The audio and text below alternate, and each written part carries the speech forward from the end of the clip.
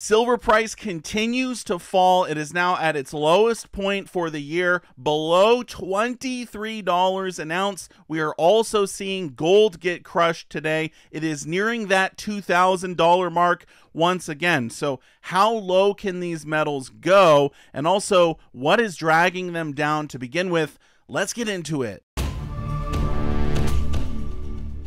The worst day on Wall Street since the crash of 1987. We're now down 43%. This could be the most serious recession in decades. Protect your retirement with gold and silver IRAs. Learn more at sdbullion.com slash IRA. Thank you so much for watching. I do sincerely appreciate it. This is the chart for silver this year.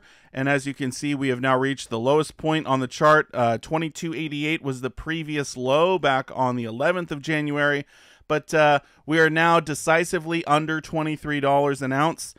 Gold, as I pointed out, nearing that $2,000 mark. Can it go below 2000 Yes, it absolutely can. Can silver continue to move down? Can it go below $20 an ounce back into the teens? I think it can as well. So, what is the reason that these metals are getting obliterated? The first thing I like to do is look at the US dollar index. Now, as I pointed out in previous videos, silver basically does the opposite of whatever the dollar is doing. So, because silver is down, we can expect the dollar to be up, and that is exactly what we see. The dollar is moving up. I believe it is now the highest it has been all year. Yeah, so there you go. It makes sense. The dollar is the highest it's been all year. Silver is the lowest it's been all year. But why is the dollar moving up? What is causing the dollar to gain strength? The big thing that happened today was the new report from census.gov. This is the United States Census Bureau, and they released these reports talking about retail sales, food services, etc. This is essentially a snapshot of how the economy is doing. Now, this isn't the end all be all. There's obviously inflation and other factors, but if we look at just this report, is it telling us that the US economy is doing better or worse? Down here in the report, we see retail trade sales were up 0.6% from November 2023. So they do account for the holidays, right? Obviously, during Christmas, people are going to spend more money than during Thanksgiving, I guess you could say. But, uh, they factor all of that in, they adjust for it. And so the prediction was that retail trade sales were only going to be up 0.4%, while the report came out saying that they were up 0.6%. So they beat expectations.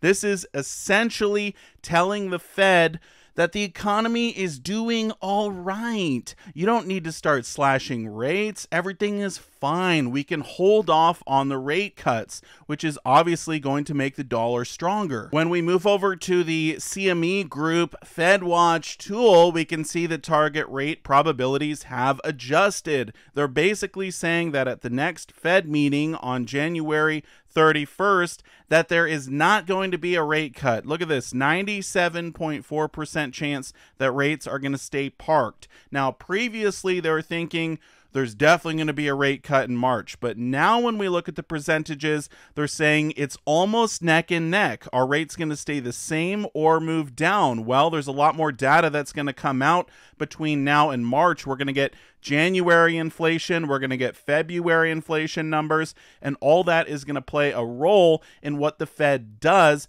at the March meeting. So, are rates going to go down? Maybe, maybe not. If they don't go down, this means we could see precious metals fall even further because it would strengthen the dollar. So you're going to have to keep an eye on these reports as they come out. If we fast forward to May, we can see they're predicting, yeah, at this point in time, rates are definitely going to be coming down. How far down will they be? Not sure. But again, there's a lot of things that can affect these percentages and what the Fed will actually do when these meetings roll around. Now, this is, in my opinion, the biggest thing that is affecting precious metals prices right now. Obviously, geopolitical events can have a big role, but right now everyone is looking to the dollar and the Fed. What is the Fed going to do? What is the dollar going to do? That will tell you what precious metals are going to do. So, have we hit the bottom for silver, or will silver continue to move down? Well, I think silver definitely can continue to move down, especially if the dollar continues to move up.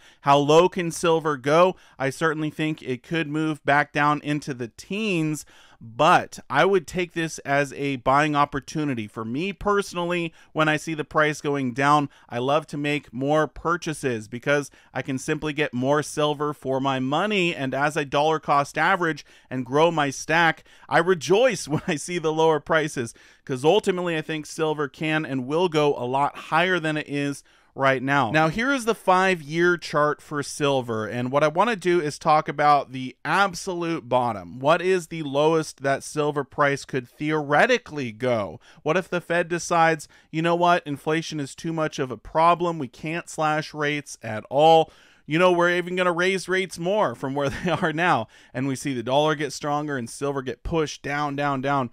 Well, during COVID, we saw silver move all the way down to $12.12 an ounce. Now, this is the paper price for silver. The paper markets determine the price for physical silver. It doesn't sound like that should be the way it is, but that's the reality of the world we live in. So when silver went down to $12 an ounce, could you actually buy silver for 12 bucks an ounce? No, because premiums went up. The cheapest I saw was like $14.50 an ounce or something like that.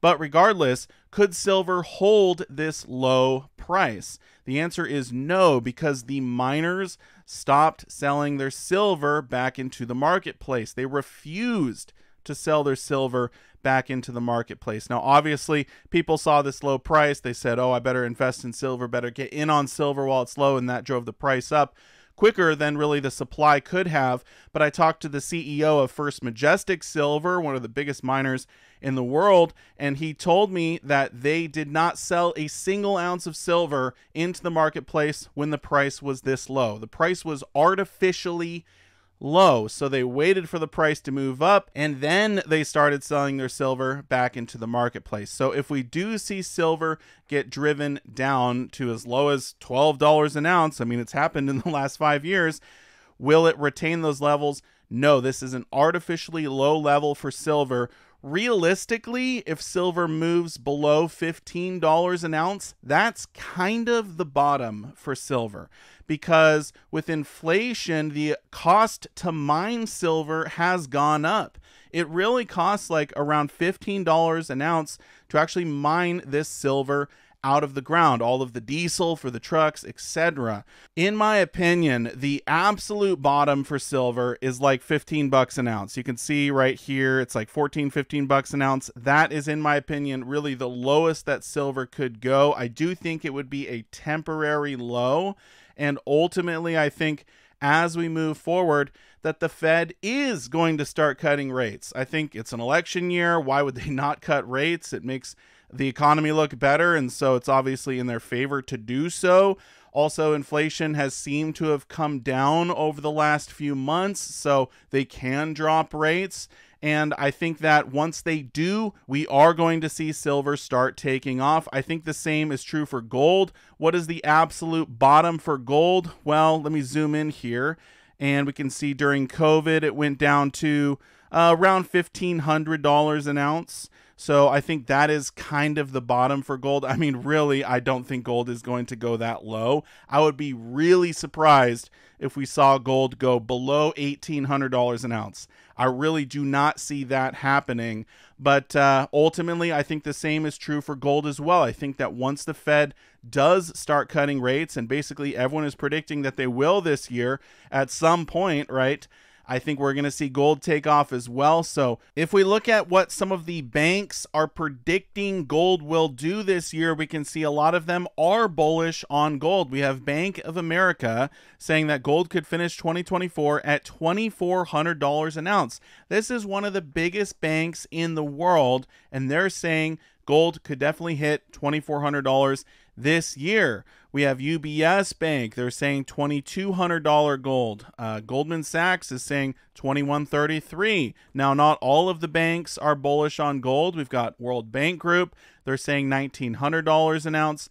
Uh, Citigroup, however, they're saying $2,400 gold as well. So ultimately, I think most of the banks are predicting gold price is going to go up, and I certainly think that will be the case as well. The last thing I want to mention is that I talked to Harry over at Harry's Coin Shop about the best metal to be buying in 2024, what type of silver you should be stacking. He gives his opinion in this video right here on the screen. Go ahead and click on that. Uh, if you're not able to, I'll put a link to that video down below in the description. Definitely go check that one out and hear his opinion on the best silver for 2024. Thank you so much for watching, and I will see you all in my next one. Silver Dragons out.